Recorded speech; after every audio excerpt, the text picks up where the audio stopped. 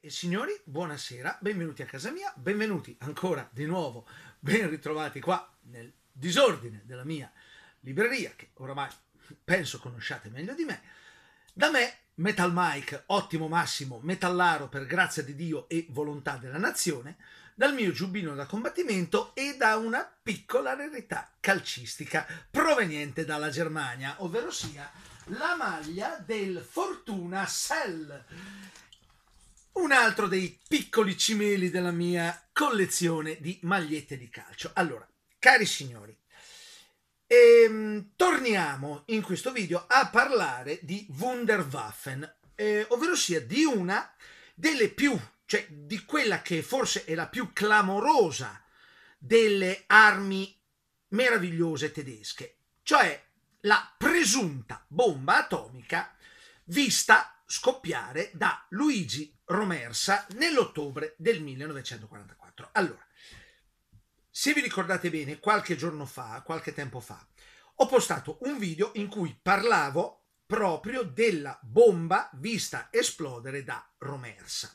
Allora, è successo che nel corso di una conversazione su eh, Facebook, eh, su alcuni gruppi Facebook, eh, inerenti alla seconda guerra mondiale, di cui mi onoro di far parte, cioè è saltato fuori il solito fenomeno che crede con tutto il cuore e con tutte le forze alla bomba atomica tedesca, cioè allo scoppio della bomba atomica tedesca. Cioè i tedeschi avrebbero fatto esplodere, se non la bomba atomica, quantomeno una, tra virgolette, bomba sporca che Romersa, il giornalista Luigi Romersa, avrebbe visto esplodere nell'ottobre 1944. Allora, ne ho già parlato, mm, praticamente Romersa era un giornalista inviato dal duce in Germania. I tedeschi gli fecero vedere tutta una serie di Wunderwaffen, compreso lo scoppio di questa bomba in un poligono di tiro a Rügen sul Baltico. Ok? Allora, mm, io come tanti, cioè insomma, sono stato, è stato provato che i tedeschi non avevano alcuna bomba atomica, è stato provato indiscutibilmente che la ricerca atomica tedesca era clamorosamente indietro di almeno dieci anni. La ricerca atomica tedesca sappiamo bene che era stata letteralmente spazzata via dalle leggi razziali che avevano praticamente tolto di mezzo gli scienziati ebrei costretti ad emigrare. Okay? Era rimasto di valido, di scienziati di fisici atomici, di fisici nucleari tedeschi, era rimasto soltanto il professor Heisenberg, che era tutt'altro che entusiasta di collaborare con il nazismo. Ok?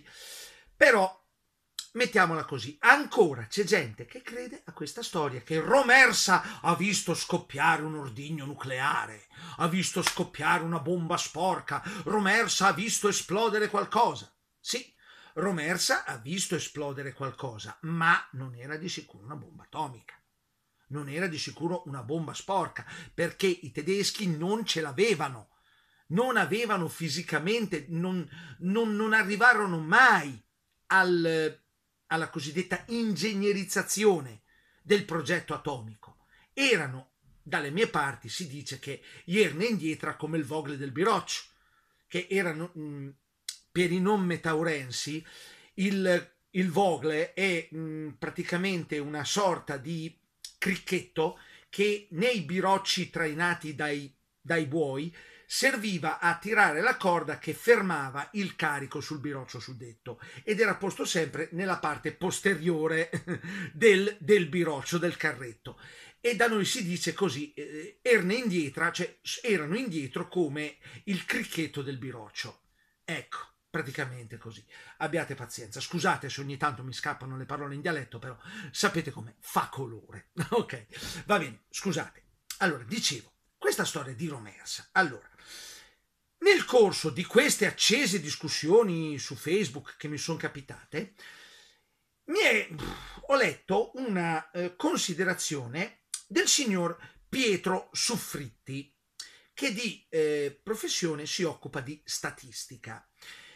e l'ho trovata molto interessante perché ci spiega molto bene non solo che cos'è la bufala di Romersa, ma che cosa sono, cioè, bufala, la, la fake news costruita attorno alla cosiddetta bomba atomica di Romersa, ma che ci fa capire, per chi vuole capirli, anche i meccanismi di certa propaganda. Quindi state a sentire bene quello che il signor Pietro Suffritti ci dice. Allora, e il signor Suffritti ammette, e lo ammetto anche io, che siamo assolutamente ignoranti in materia di tecnica sulle bombe atomiche. Ma il signor Suffritti si pone una interessante domanda. E, ehm, allora, eh, la sicurezza, allora, la sicurezza tramite offuscamento, detta anche i segreti, non funziona. Ok? E per non funziona si intende veramente che non funziona.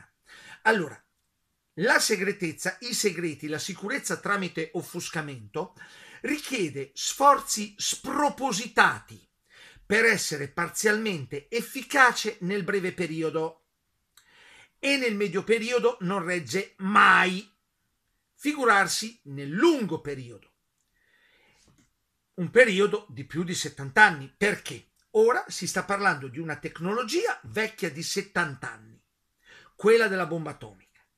Sono decaduti tutti i limiti di segreto di Stato e addirittura gli stati che tenevano il segreto, alcuni addirittura non esistono neanche più. Ok? La produzione di testate nucleari viene regolata malamente e con ben poca efficacia tramite il controllo del mercato degli elementi fissili, ovvero sia degli elementi radioattivi, dell'uranio e del plutonio. Ok? e non certo tramite un impossibile controllo della conoscenza di leggi fisiche. Eppure a tutt'oggi l'atomica hitleriana resterebbe un segreto. Oibò, il segreto dell'atomica di Hitler. Ancora c'è gente che ci crede. Perché? È la prima domanda. E ancora di più, chi? Chi?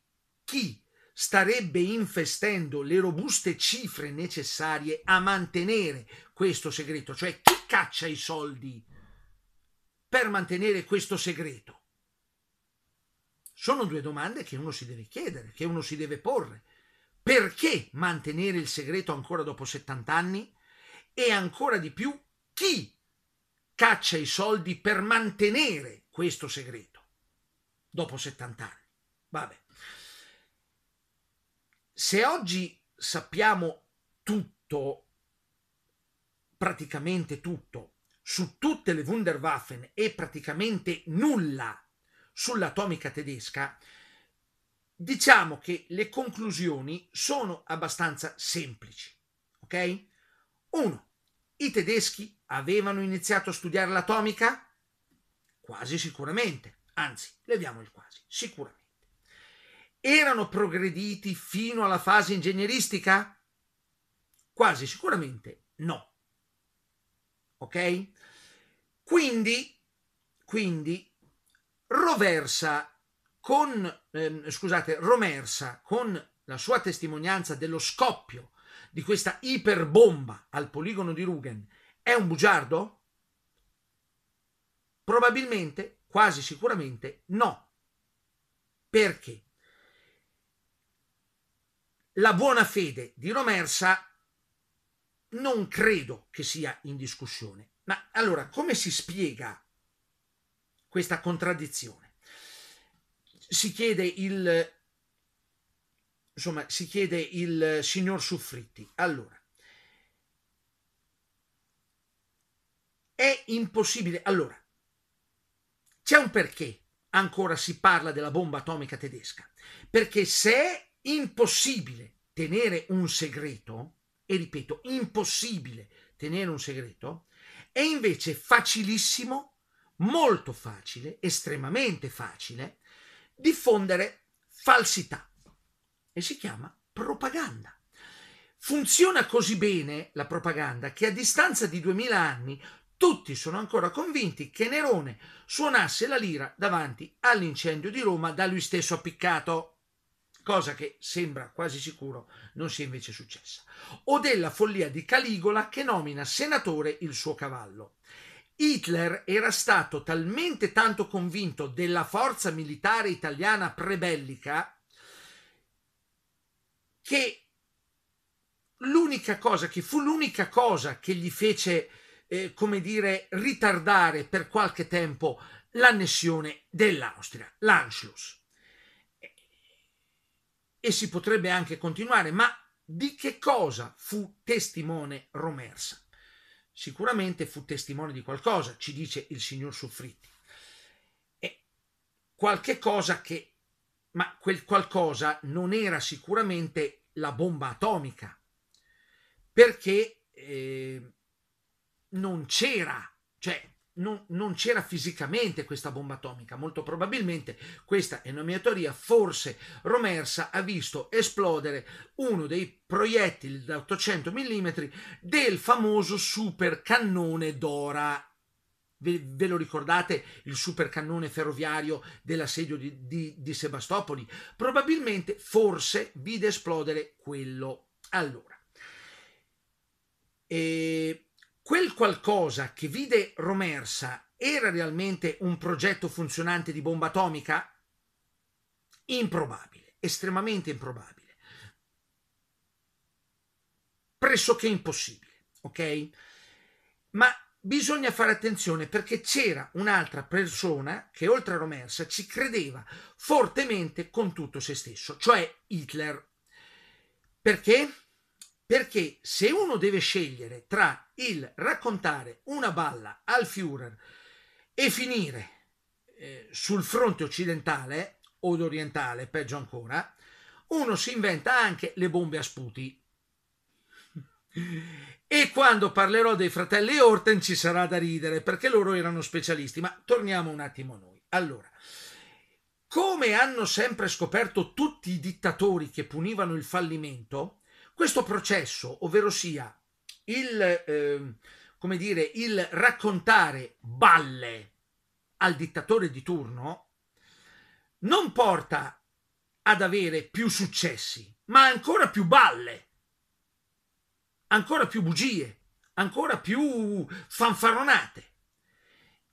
Se volete delle controprove, se volete la dimostrazione fisica di questo assunto, basti chiedere al senatore McCarthy, a Stalin, a Mao e a tutta la parafernalia varia dei dittatori che infestano, hanno, infestano la storia dell'umanità tutta. Cioè, insomma, Pietro Suffritti è stato estremamente chiaro nelle sue parole, ma c'è anche da dire da fare un'aggiunta. Ehm, il, l'amico mh, mm, Fausto Serventi, l'amico Fausto Serventi, mi ha detto, cioè, che praticamente questa storia della bomba vista esplodere da Romersa non sta in piedi per un altro motivo molto più concreto. Allora, perché se avevano fatto esplodere questa bomba potentissima per prova, vista da Romersa, perché non ne hanno fatte altre uguali da usare dove necessario? Eh, perché nessuno si è poste, perché nessuno si pone sta domanda? Vabbè, cioè, uno si chiede, cioè, continua l'amico Fausto Serventi, che se hanno costruito una bomba di prova, messi con le spalle al muro dall'avanzata, degli anglo-americani e dei russi, perché non ne hanno usata neanche una? Cioè, allora, tutto lo Stato Maggiore del partito e, del, e delle forze armate doveva sapere di questa bomba, ma nessuno ne ha chiesto un impiego in guerra. Cioè, insomma, hanno mandato in volo piloti semisuicidi dentro dei razzi perché non avevano la tecnologia per guidarli, per gestirlo. E tutto quello che era possibile gettare nella fornace della guerra, ce lo buttarono. Cioè, ma perché la bomba di Romersa non si è mai vista su un campo di battaglia? Cioè, e ripeto, parliamo di una bomba collaudata nell'ottobre 1944 e quindi di tempo per farne un'altra ce n'era e ce n'era come, ma nessuno pensa a questa cosa. Inoltre, ripeto la considerazione che ho fatto a proposito di Romersa nel mio precedente video. Romersa era un giornalista che doveva scrivere articoli di propaganda sui giornali italiani e vedeva le cose che i tedeschi gli facevano vedere. Ok? Concediamogli la buona fede, va bene, ma tu sei un giornalista della Repubblica Sociale Italiana, sei chiamato in Germania per scrivere articoli di propaganda, va bene? Non puoi certo, come dire, dire la verità, ovvero sia, cioè dire pubblicamente la verità, ovvero sia che la Germania nell'ottobre 44, nonostante tutti i progetti di superarmi, nonostante la iperbomba vista esplodere, era alla canna del gas. E nel suo rapporto segreto personale al duce, Romersa lo disse chiaramente che il divario tra gli alleati anglo-americani e sovietici e i tedeschi era assolutamente incolmabile e che le favolose armi tedesche non sarebbero servite a nulla. Romersa lo scrisse nel suo rapporto segreto personale al duce.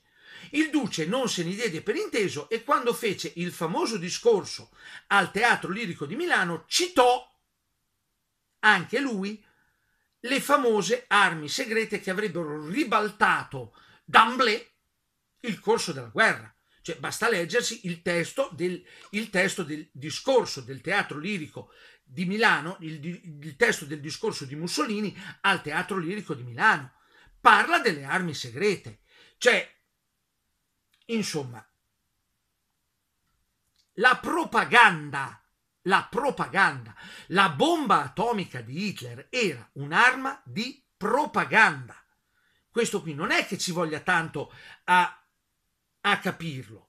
Cioè, Mussolini era uno che ritorniamo un attimo al discorso, del, al, al discorso, del, teatro lirico di Milano, in cui Mussolini si esaltava le armi segrete tedesche che avrebbero ribaltato il corso della guerra.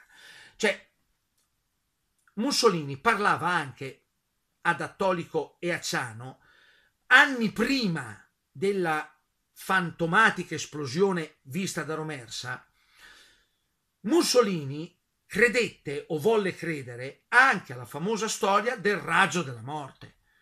Cioè il raggio della morte inventato da Nikola Tesla, eh, nascosto da Guglielmo Marconi, cioè tutte queste cose così. Mussolini ci credeva, perché oggettivamente sappiamo bene che la cultura di Mussolini, tutto sommato, era piuttosto modesta. Mussolini, ahimè, si atteggiava al guerriero e al condottiero che non era, lui tutto vedeva, tutto sapeva e a tutto credeva oggettivamente e soprattutto credeva alla sua stessa propaganda. Ma questo è un altro discorso che ci porterebbe decisamente troppo lontano. Quindi, ripeto, la questione propagandistica della bomba di Romersa è evidente, oramai a distanza di 70 anni è evidente. Come hanno detto il signor Suffritti e l'amico Serventi, si tratta semplicemente di propaganda, di un grande successo propagandistico tedesco, ma c'era solo quello.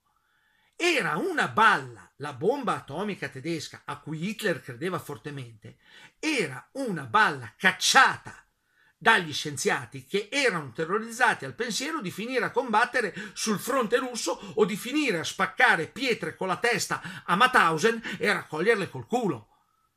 Nelle dittature funziona così. Ripeto, Stalin e Mao di queste cose ne sanno qualche cosa e ne hanno combinate ben di peggio a livello di castronerie scientifiche a cui hanno creduto rispetto a quelle di Hitler.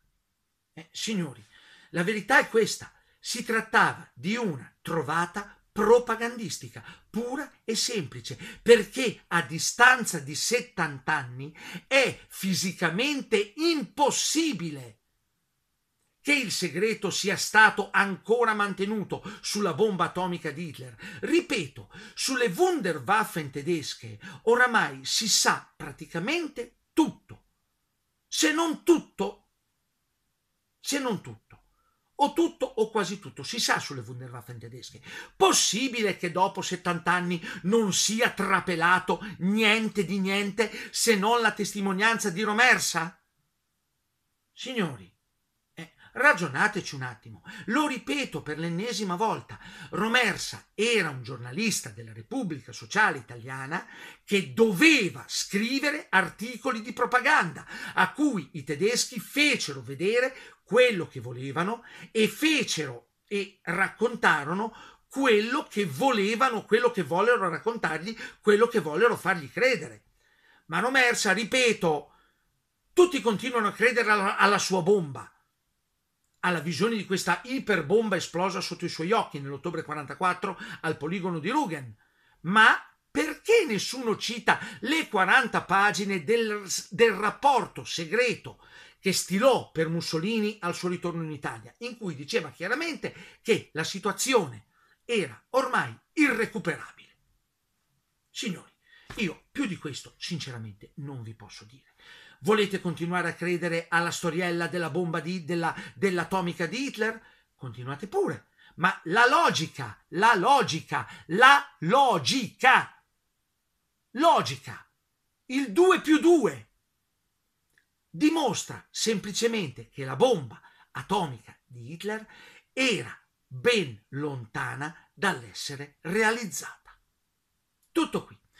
Quindi, cari, ah, dimenticavo, oltre, ripeto, oltre alle mancate prove sull'esistenza dell'atomica di Hitler, ci sono tutte le testimonianze dei degli scienziati della cosiddetta operazione Paperclip, del recupero degli scienziati atomici tedeschi fatto dagli americani.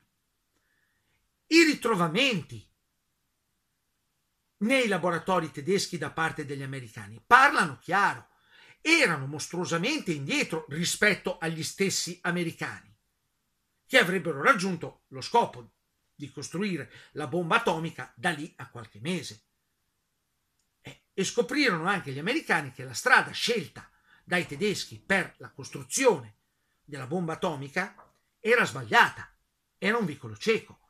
Ma ahimè, che vi posso dire? Continuate pure a credere, cioè certa gente continua ancora a credere a questa storia di propaganda. E ripeto, propaganda, balle. È bello credere alle belle bugie. La bomba atomica segreta di Hitler Dopo 70 anni un segreto non esiste più. Si sa che non esiste più. Cioè dopo 70 anni tutto, praticamente tutto quello che c'era da sapere sulla seconda guerra mondiale è saltato fuori. E pochi cazzi. Da Enigma fino all'operazione Min Smith, dalle, dalla guerra di spie fino ai fino, come dire, eh, eh, ai, ai segreti delle Wunderwaffen, tutto, praticamente tutto è saltato fuori. Ci sarà ancora qualche cosa sepolto negli archivi, non posso saperlo e non posso neanche negarlo, però oggettivamente siamo sinceri, signori. Sono passati più di 70 anni dalla fine della Seconda Guerra Mondiale e tutti i segreti sulla fabbricazione delle bombe atomiche americane, quelle vere, sono finiti, cioè insomma non, non ci sono più, non c'è più il segreto su quelle cose. Ok? Perché ancora continuare a credere a questa storia del segreto mantenuto sull'atomica di Hitler? Perché? Punto primo. Punto secondo. Chi è che spende tutti quei soldi ancora per mantenere un segreto di 70 anni tecnologicamente superato? Ormai. Pensateci a questa cosa, ragionateci sopra. E io più di questo, sinceramente, non vi posso dire. Cioè, io mi raccomando sempre una cosa, controllate sempre le fonti. A volte ho sbagliato anche io, lo dico senza problemi.